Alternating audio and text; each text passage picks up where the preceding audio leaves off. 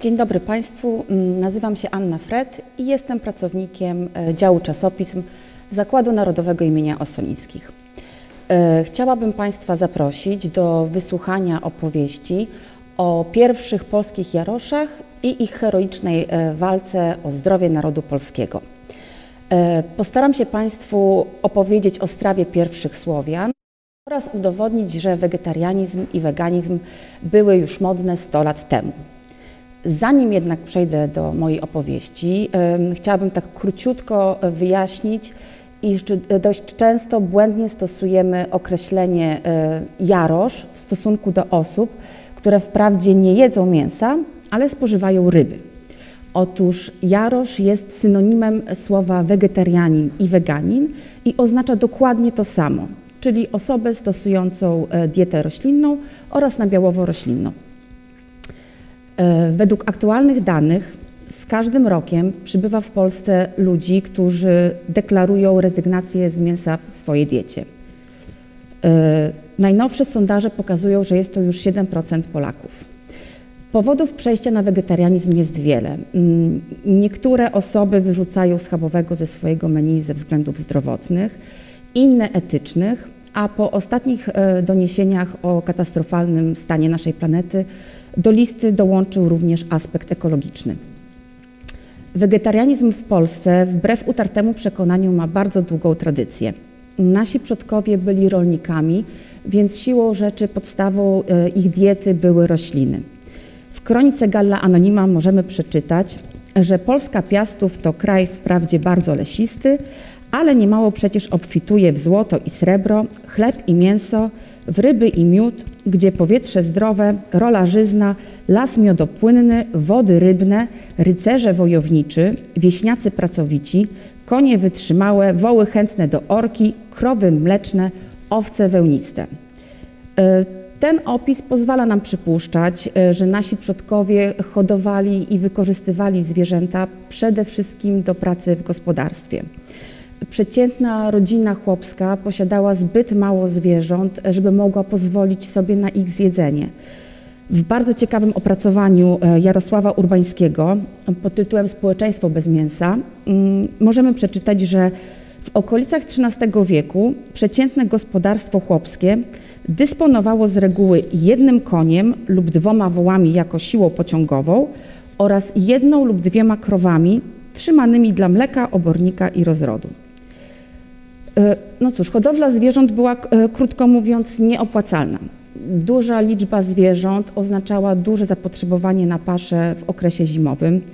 E, Do tego dochodzi jeszcze problem przechowywania mięsa, który jest, jak wiadomo, no no szybko się po prostu psuje. Kolejnym problemem to pastwiska, mianowicie musimy pamiętać, że Polska była wtedy krajem pokrytym lasami i bagnami. E, Wypasanie bydła w takich warunkach było niezmiernie trudne i pochłaniało bardzo dużo energii. Praca na roli pochłaniała mniej więcej tyle samo energii, ale można było dzięki niej e, wykarmić e, znacznie więcej osób. Badania archeologiczne wykazały, że chłopi niechętnie polowali na ptaki i inną zwierzynę łowną. Zresztą od XIII wieku polowania były zabronione. Mięso spożywały tak naprawdę elity rządzące. Chłopi angażowali swoje siły w produkcję zboża. Na terenie dawnej Polski było aż 147 jadalnych gatunków roślin. Najpopularniejsza była komosa biała, czyli lebioda, ale podsta- podstawę diety stanowiły również e, grzyby i wszelkiego rodzaju kiszonki.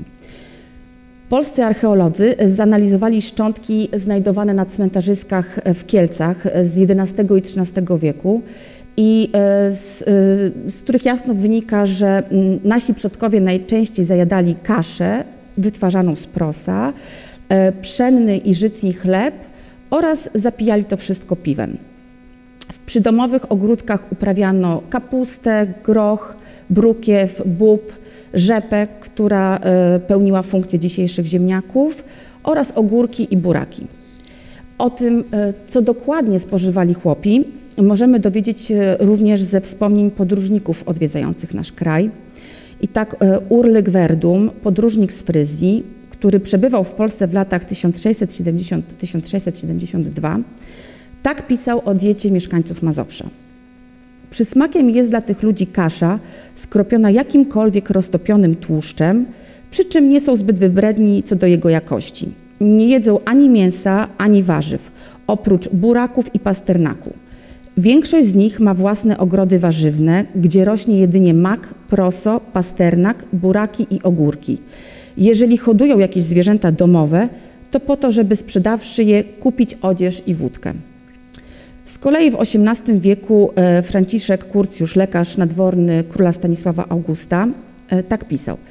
Bardzo wiele wieśniaków w tym kraju nie zna mięsa, a przynajmniej bardzo rzadko je jedzą. Chleb gruby, lada jaka kasza, barszcz, kwaśna kapusta i trunek najprościejszy są zwyczajnym ich posiłkiem.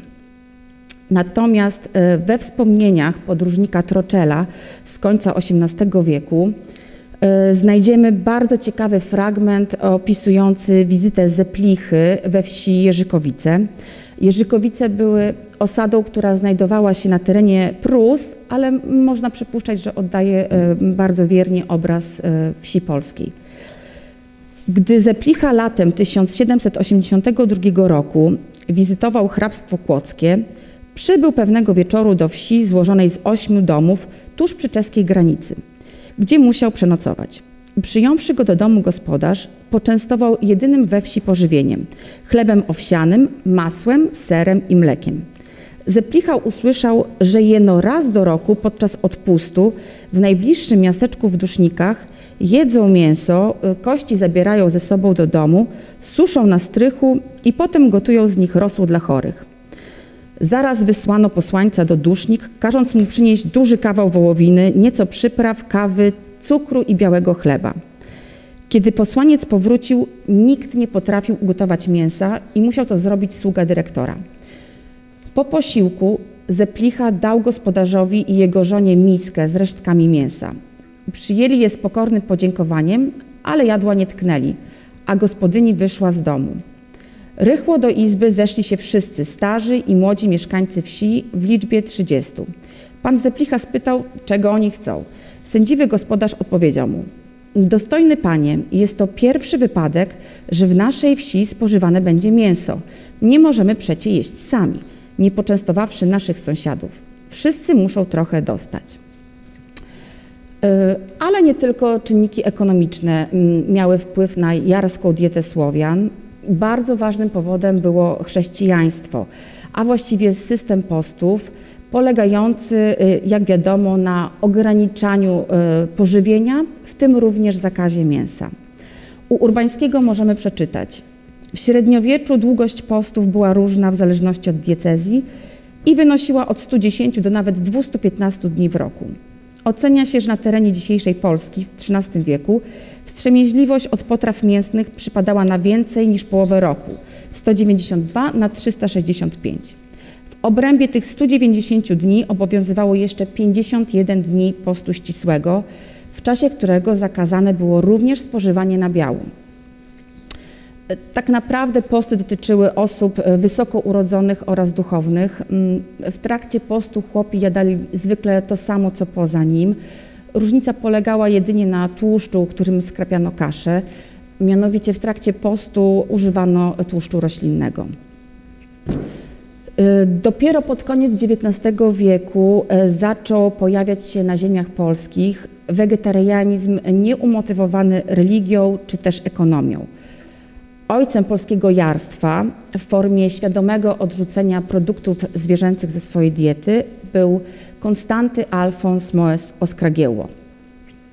Konstanty urodził się w 1850 roku w Choroszczy pod Białymstokiem e, w bogatej rodzinie właściciela fabryki włókienniczej. Konstanty był bardzo e, chorowitym dzieckiem, e, cierpiał na przewlekłe dolegliwości ze strony żołądka oraz jelit. Do tego wyróżniał się mizerną postawą, niskim wzrostem i bladą twarzą. E, po e, ukończeniu edukacji wyjechał do Europy, gdzie zamierzał podjąć studia medyczne, jednakże dość szybko okazało się, że zamiast na uczelni coraz więcej czasu spędza na kolejnych kuracjach, które miały na celu podreperowanie jego stale pogarszającego się zdrowia. Mm, kolejne terapie zalecane przez zachodnich medyków nie przynosiły żadnego rezultatu. E, wreszcie po 8 latach Konstanty postanowił zwrócić się w stronę medycyny naturalnej. Przede wszystkim przeszedł na dietę wegetariańską i w bardzo krótkim czasie pozbył się wszystkich swoich wieloletnich dolegliwości. Wyzdrowiał, nabrał siły i postanowił wrócić do kraju, aby propagować dietę roślinną oraz alternatywne metody leczenia. W 1883 roku Oskragieło założył w Otwocku pierwszy zakład przyrodolecznictwa Bojarów. Było to e, pierwsze sanatorium, które w ogóle powstało na terenie Otwocka. E, sam Oskragieło nazywał Bojarów odrodziskiem jarskim. E, głównymi metodami leczniczymi stosowanymi w Bojarowie były powietrze, woda, światło, ciepło, zimno, pokarm, ruch, spoczynek w umiejętnym do każdego osobnika zastosowaniu. Takimi naturalnymi metodami leczono nieżyt kiszek, żołądka, płuc, pęcherza, choroby nerwowe, tak zwane kobiece i osłabienie ogólne. E, w Bojarowie początkowo oferowano dwa stoły, jarski i mięsny, chociaż w przypadku niektórych chorób wymagana była ścisła dieta jarska. Od 1886 roku wyżywienie było już tylko e, jarskie. Co ciekawe, chory płacił jedynie za koszty utrzymania w sanatorium. Honorarium e, było wypłacane tylko w przypadku, gdy leczenie okazywało się skuteczne. Zapewne to ideologiczne podejście e, Oskragieły do, e, do choroby oraz do leczenia, do chorego sprawiły, iż no, dość szybko sprzedał swój majątek i przeniósł się do Warszawy. Było to w 1893 roku. W 1884 roku e, Oskragieło przetłumaczył e, broszurkę Alfreda von Seefelda pod tytułem Jarosz i jarstwo wegetarianizm. Ponieważ była to pierwsza książka w języku polskim poświęcona sprawie jarstwa, zwanego na Zachodzie wegetarianizmem, Oskragieło postanowił opatrzeć ją własnym wstępem, w którym to wyjaśnia zasady jarstwa, jak również źródło słów e, słowa jarosz, które oznacza człowieka zdrowego, silnego i krzepkiego. Jeśli chodzi o cel jarstwa, to jest nim według Oskragiełu przede wszystkim fizyczne i moralne odrodzenie człowieka oraz regeneracja ludzkości. Przyczyn upadku fizycznego szukać należy przede wszystkim w nieprawidłowej, niezgodnej z prawami ludzkiej przyrody diecie, czyli sposobie odżywiania się. Pokarmy mięsne, ostre korzenie i napoje, jako też nadmiar pokarmów, zaostrzają krew, pobudzają nerwy układu odżywczego do natężonej czynności kosztem nerwów służących samowiedzy. Drażnią one nad potrzebę i pobudzają namiętności Dalszym następstwem tego natężenia i rozdrażnienia jest upadek sił, choroby oraz przedwczesna i bolesna śmierć. Jeśli chodzi o moralny aspekt e, jarstwa, to nie ma absolutnie żadnego etycznego usprawiedliwienia dla przelewu krwi oraz zabijania innych stworzeń. Zwierzęta obdarzone są życiem i czuciem przez opatrzność nie po to, by je człowiek dla zabawy lub dla zadośćuczynienia swej żarłoczności zabijał. Poza tym zwyczaj przelewania krwi zwierząt silnie wpływa na całą istotę człowieka, tak fizyczną, jak i moralną. Z naturalnego opiekuna przyrody staje się on jej prześladowcą. Od przelewu krwi zwierzęcej do ludzkiej krok jeden. No cóż, łatwo sobie wyobrazić, jaka była reakcja współczesnych Oskragielle na, to, na tą pozycję. E, powiedzieć, że teorie jarstwa nie spotkały się ze zrozumieniem, to jakby nic nie powiedzieć. E, Oskragieło został dosłownie wyśmiany na łamach prasy. E, co ciekawe, krytyka była wyłącznie personalna, a nie merytoryczna. Wyzywano Oskragiełę od dziwaków, utopistów, fanatyków. Zarzucano mu, że, zarzucano mu brak wiedzy przede wszystkim oraz to, że nie liczy się z naturą ludzką oraz z nawykami ludzi. W odpowiedzi na najbardziej zjadliwe i złośliwe krytyki mm, Oskragieło wydał broszurkę pod tytułem Odpowiedź na omowy jarstwa, czyli wegetarianizmu, panów Omikrona, ST Kramsztyka i AMG z kraju, zakończone uwagami nad godnością dziennikarską Kuriera Warszawskiego. W 1888 roku ukazały się dwa najważniejsze dzieła Oskragieły. E, Jarstwo i wełniarstwo w dziejach słowiańszczyzny mm, oraz e, Przyrodzone pokarmy człowieka i wpływ ich e, na dolę ludzką. W jarstwie i wełniarstwie Oskragieło dowodzi, że pierwsi Słowianie to tak naprawdę opisywany przez Homera starożytny lud Hyperborejów, znany z długowieczności, urody i siły. Hyper, hyperboreje nie jadali mięsa, mieszkali w pięknych lasach i umierali w spokoju. Według Oskragieły najważniejszym dla duchowego odrodzenia jest właśnie powrót do tych słowiańskich korzeni, czyli odżywianie się darami ziemi oraz noszenie wełnianej odzieży, która według niego jest jedynym prawidłowym materiałem dla skóry ludzkiej. Co ciekawe, książka ta spotkała się z dużo bardziej przychylną krytyką i tak e, we wcześniej wspomnianym Kurierze Warszawskim możemy przeczytać. Wegetarianizm nie może i nie powinien być lekceważony, a już najmniej na lekceważenie i szyderstwo zasługuje jego krzewiciel, który sprawę swą traktuje poważnie, naukowo, wywody swe opiera na gruntownych dociekaniach, przewyższając niejednego z tych, którzy na jego naukę z politowaniem wzruszają ramionami. E, książkę Przyrodzone pokarmy człowieka i wpływ ich na dolę ludzką Oskragieło zadedykował kobiecie słowiańskiej dzierżącej w swym ręku przeważnie dole lub niedole plemienia swojego. E, książka ta została bardzo przychylnie przyjęta u naszych sąsiadów e, w Rosji. Tam też doczekała się wielu wznowień i bardzo przychylnej recenzji Lwa Tołstoja, zagorzałego wegetarianina. E, ostatnie lata swojego życia Oskragieło spędził w Krakowie. W tym okresie zaprzestał aktywności w kwestii jarskiej i poświęcił się swojej pasji bibliofilskiej. Mm, założył bibliotekę, którą udostępniał zupełnie e, za darmo dla wszystkich zainteresowanych. E, ponadto rysował i rozwijał swoje zainteresowania w kierunku okultyzmu i filozofii wschodu. Zmarł w 1910 roku. Wprawdzie w pierwszych e, latach e, swojej działalności na rzecz jarstwa Oskragieło był e, osamotniony, jednak dość szybko idea wegetarianizmu zyskała kolejnych zwolenników. Co ciekawe, do grona mięsosceptyków dołączało coraz więcej lekarzy. I tak na pewno musimy wspomnieć o Augustynie Czarnowskim. E, Czarnowski urodził się w 1861 roku e, w znanej rodzinie kaszubskiej. Ukończył seminarium nauczycielskie oraz studia medyczne. W trakcie studiów zainteresował się homeopatią, ziołolecznictwem i właśnie wyżywieniem e, wegetariańskim. Czarnowski na stałe mieszkał w Berlinie. Tam też prowadził praktykę stomatologiczną, pensjonat oraz aktywną działalność wydawniczą. W 1893 roku y, rozpoczął wydawanie czasopisma Przewodnik Zdrowia, miesięcznik poświęcony pielęgnowaniu zdrowia i sposobowi życia według praw przyrody. Mm, przewodnik był nie tylko czasopismem, ale również wydawnictwem skupiającym y, wokół siebie zwolenników y, diety jarskiej oraz higieny osobistej.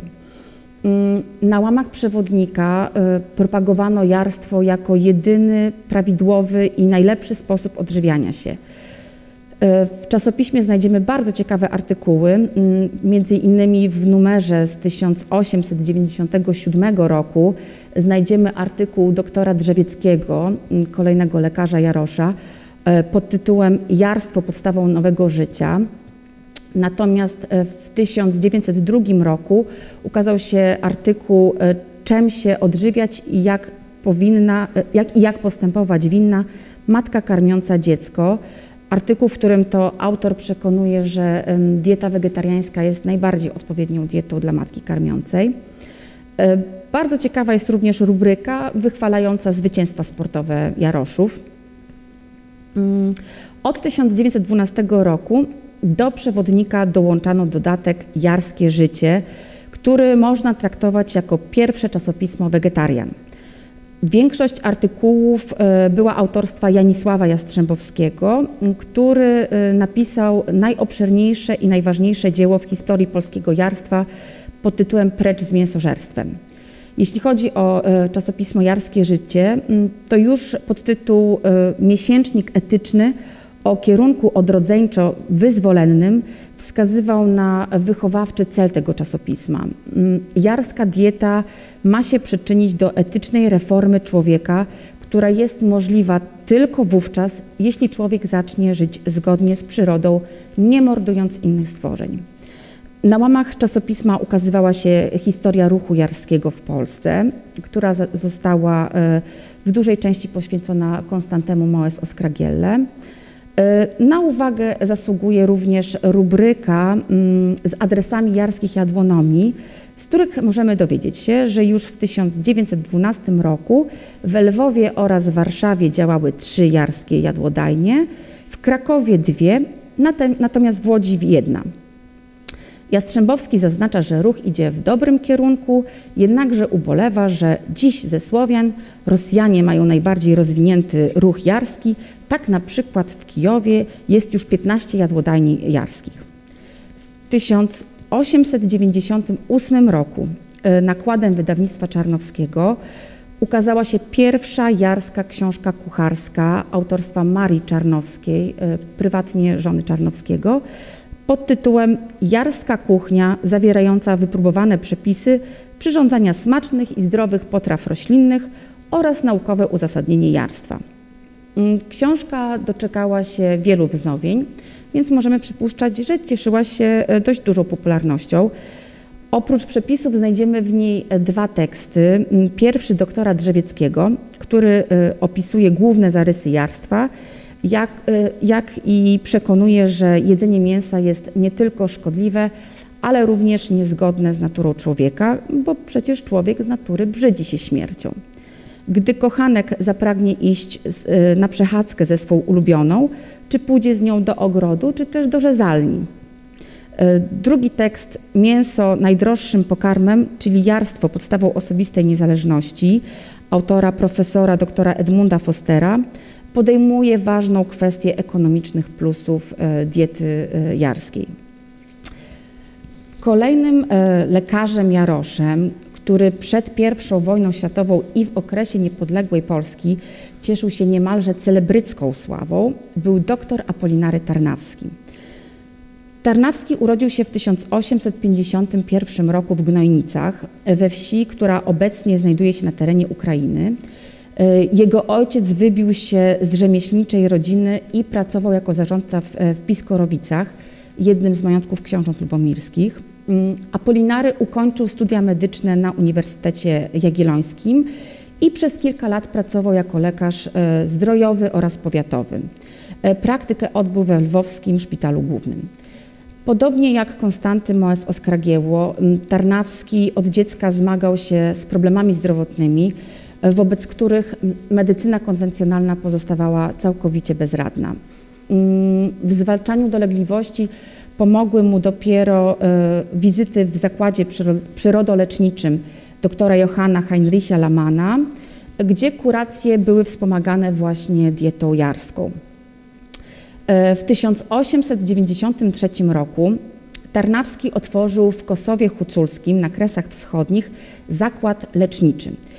Mimo iż w środowisku lekarskim e, miał raczej opinię dziwaka i szarlatana, to jego metody leczenia oraz nietuzinkowe podejście do pacjenta sprawiły, iż e, w niedługim czasie klinika Tarnawskiego stała się najmodniejszym sanatorium, a Kosów na równi z Zakopanym ulubionym kierunkiem polskiej bohemy przed I wojną światową, jak również w okresie II Rzeczpospolitej. E, w dobrym tonie było pojawienie się przynajmniej raz do roku na terapii u Tarnawskich. E, częstymi gośćmi były takie sławy jak e, Gabriela Zapolska, Maria Dąbrowska, e, Juliusz Osterwa, Melchior Wańkowicz czy Stanisław Dygat. Również politycy chętnie poddawali się kosowskim kuracjom odnowy. Mm, lecznicę w szczególności upodobali sobie politycy Stronnictwa Narodowego, m.in. Roman Dmowski, Zygmunt Balicki czy Tadeusz Bielecki, ale nie zabrakło w niej również miejsca dla socjalistów, m.in. Ignacego Daszyńskiego czy Kazimierza i Stanisława Keles-Krauzów.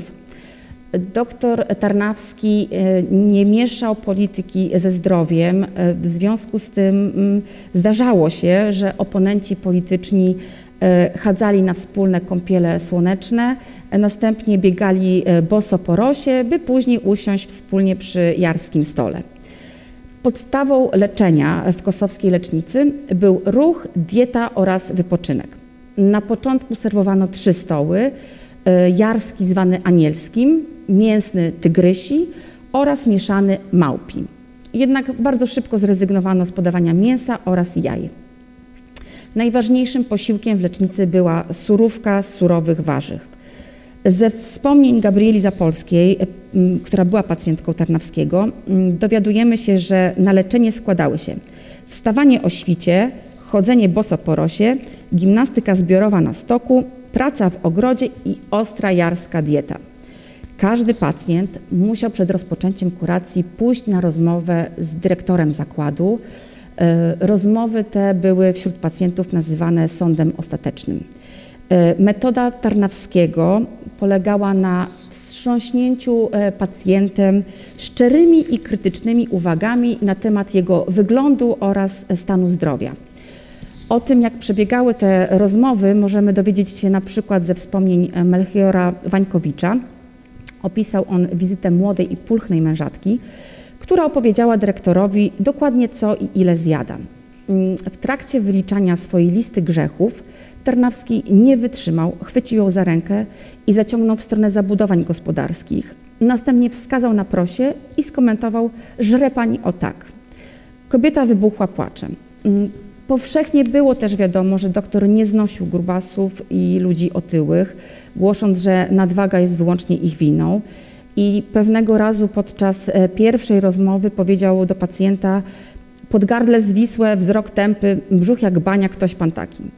Okazało się, że był to wybitny wileński chirurg, dr Marian Moszyński.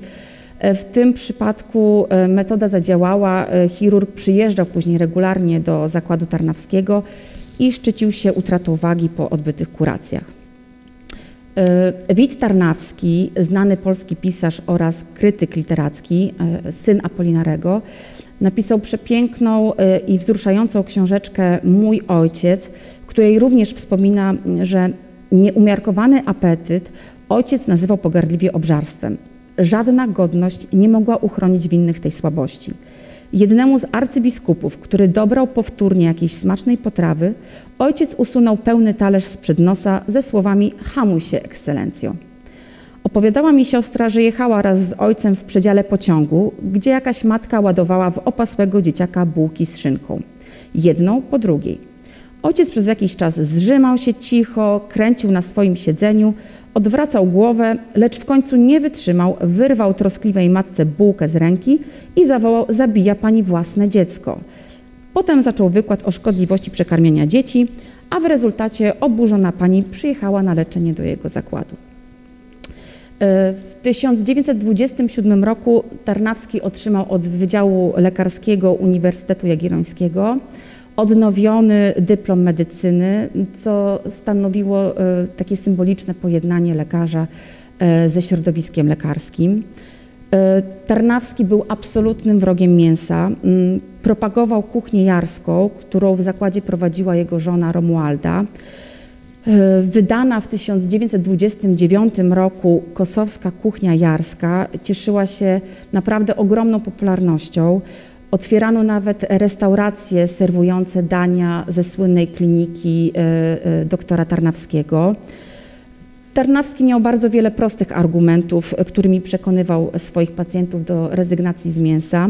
Mm, przytaczał między innymi przykład krów, które żywią się wyłącznie trawą e, dostarczającą im wszelkich niezbędnych składników. Jednak bardziej Interesującym był argument, w którym Tarnawski opowiadał o egzotycznych plemionach, które po skazaniu na śmierć zbrodniarzy karmią ich wyłącznie mięsem. Spożywanie wyłącznie samego mięsa powoduje zgon po około 4 tygodniach. Poza tym zwierzęta roślinożerne są silniejsze, bardziej wytrwałe i żyją dłużej od mięsożernych. To samo można zauważyć u jaroszy.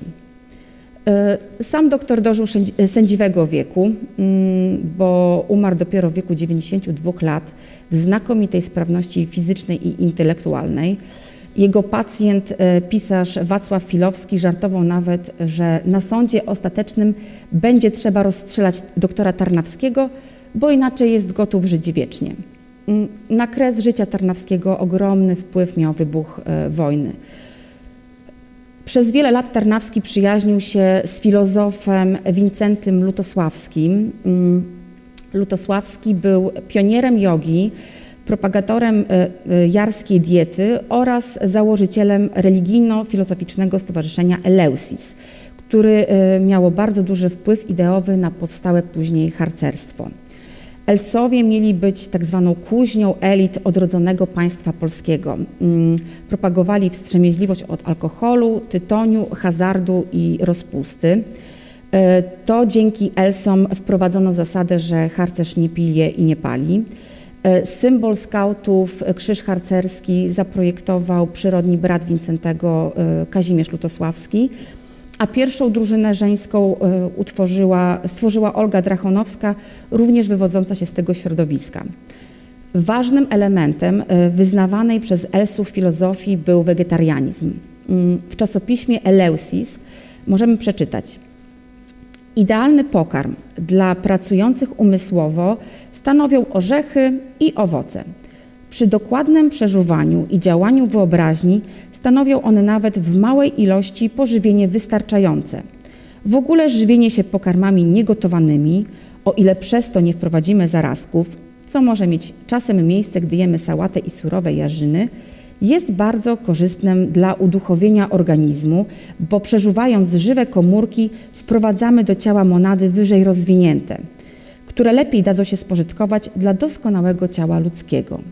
Obrany orzech lub migdał, obrane jabłko to są czyste i nietknięte niczyją ręką pokarmy, pełne sił żywotnych, wolne od zarazków, nadające się do przeżuwania doskonałego. Ale nie zawsze to dla wszystkich dostępne. W naszych warunkach łatwiej o chleb i mleko, które także stanowią pokarm zupełnie wystarczający i zdrowy. Na początku XIX wieku na początku XX wieku, przepraszam, e, coraz bardziej widoczne były kobiety. E, ambitne Polki, żądne wiedzy, zdobywały wykształcenie na uczelniach zagranicznych, e, by po powrocie do kraju w miarę możliwości włączyć się w życie naukowe oraz intelektualne. Wprawdzie polskie uczelnie otworzyły swoje drzwi dla studentek już pod koniec XIX wieku, e, to jednak e, kobiety nadal nie mogły uczestniczyć e, w seminariach oraz korzystać z bibliotek. Wśród naukowczyń znanych i szanowanych w świecie nauki nie zabrakło również Jaroszek. I tak musimy wspomnieć o Józefie Jotejko, która była obok Marii Curie-Skłodowskiej najsłynniejszą kobietą w świecie nauki. E, Jotejko została pierwszą we Francji kobietą cudzoziemką i drugim po Adamie Mickiewiczu przedstawicielem Polski, któremu powierzono katedrę na słynnej paryskiej uczelni w Kolegium Francuskim. E, o inauguracyjnym wykładzie Józefy Jotejko mówił cały intelektualny Paryż. Był to bowiem pierwszy wykład e, kobiety w uczelni, która działała nieprzerwanie od 1530 roku. Prywatnie Jotejko była zagorzałą zwolenniczką diety wegetariańskiej. Publicznie głosiła, że dieta jarska jest najbardziej odpowiednią dietą dla dzieci. E, za swoją pracę Dziecięctwo wegetariańskie otrzymała nawet specjalną nagrodę Akademii Francuskiej. E, Jotejko prowadziła również e, badania wśród osób prowadzących różny tryb życia, pracy oraz odżywiania się i jedną z jej grup kontrolnych stanowili wegetarianie. Były to pierwsze naukowe badania funkcjonowania i wydolności organizmów osób, które odstawiły mięso. E, wynikało z nich jasno, że osoby na diecie jarskiej nie ustępują kondycją fizyczną i sprawnością umysłu osobom jedzącym mięso. Wyniki te zostały opublikowane w 1907 roku w Brukseli, a w 1919 roku Jotejko wróciła do kraju. E, objęła katedrę psychologii pedagogicznej w Państwowym e, Instytucie Pedagogicznym w Warszawie, habilitowała się i pracowała jako docentka psychologii na Wydziale Medycznym Uniwersytetu Warszawskiego. Mm, zmarła w 1928 roku. Kolejną e, lekarką, zwolenniczką diety wegetariańskiej była Michalina Stefanowska. Wielka neurofizjolog i biolog, e, druga kobieta po Marii Curie Skłodowskiej, która została członkiem Polskiej Akademii Nauk. Stefanowska, podobnie jak Jotejko, uważała, że dieta jarska jest najbardziej odpowiednią e, dietą dla dzieci.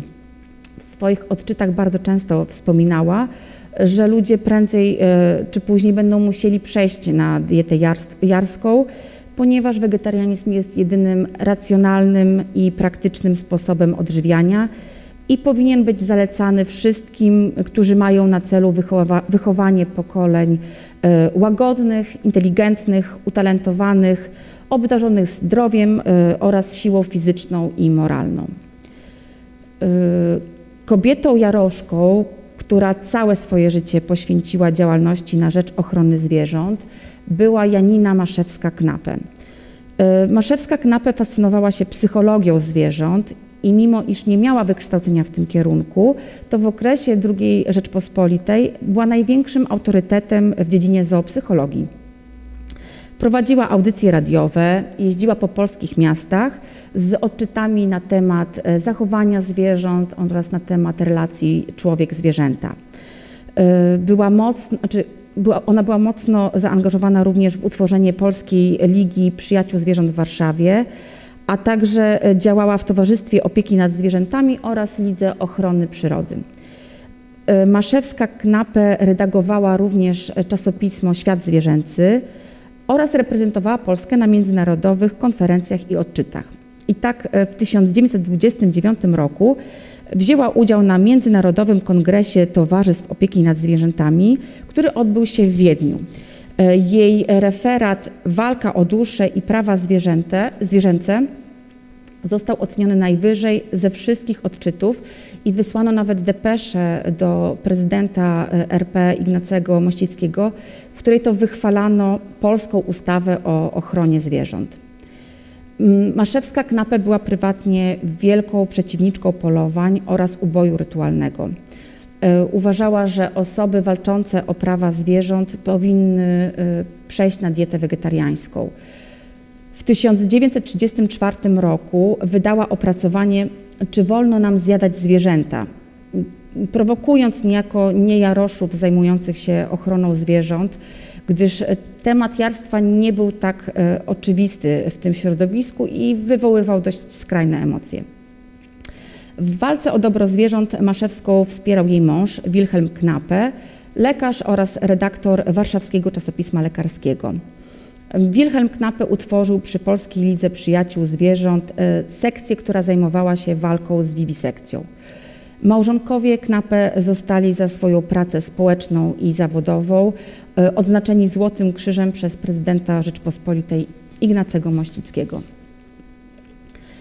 Na koniec chciałabym Państwu przeczytać fragment najjaśniejszego wezwania Rajmunda Jankowskiego, niestrudzonego pielgrzyma, przedstawianego w prasie międzywojennej jako człowieka, który nigdy nie jadł mięsa i który przemierzał kilometry z gitarą w ręku, by swoimi wierszykami, broszurami oraz piosenkami zachęcać ludzi do zrezygnowania z trupizny. I w trakcie czytania tego wyzwania mogą Państwo obejrzeć slajdy z przepisami kulinarnymi e, pochodzącymi z popularnych czasopism, między innymi e, z Bluszczu, z Kobiety w świecie i w domu oraz ze słynnej książki kucharskiej Kosowska Kuchnia Jarska. Rzecz taka prosta w zasadzie, by życie ludzkie szło w ładzie, trzeba pilnować porządku z Pisma Świętego początku. A cóż to tam za początek? Skąd prawda bierze swój wątek? Oto jarszczyzna chwalebna, najbardziej w świecie potrzebna. Ludzie, i wielcy, i mali, czyliście Boga poznali, Jarszczyzną Bożą żyć trzeba, aby się dostać do nieba. Jarszczyzna Boża to płody, na całym świecie ogrody. W nich dzieci Boże pracują, powszechne szczęście budują. A więc nie wolno nikomu używać na pokarm sromu, mięsa trupiego z tym jadem, kroczyć szlachtuza śladem. Rozważcie proszę, w tym względzie niech każdy jaroszem będzie, niechaj trupiznę odrzuci, a wtedy raj nam powróci. Dziękuję bardzo za uwagę. Do widzenia.